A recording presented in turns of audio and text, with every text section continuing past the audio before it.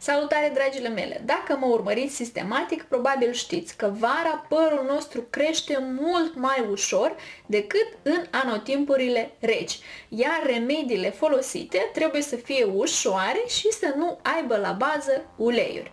Uleiurile le lăsăm pentru perioada rece.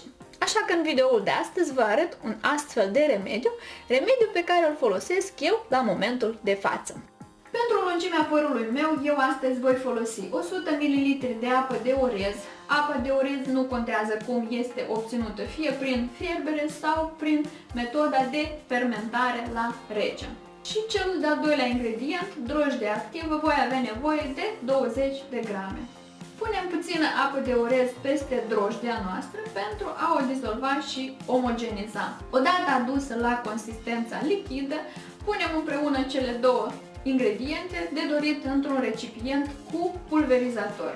Trebuie să specific faptul că înainte de a aplica această mixtură pe păr, părul trebuie să fie spălat, curat, uscat și odată ce veți aplica această mixtură, lăsați-o minim pentru 30 de minute, maxim 60 și pentru comoditate puteți anvelopa totul cu folie alimentară.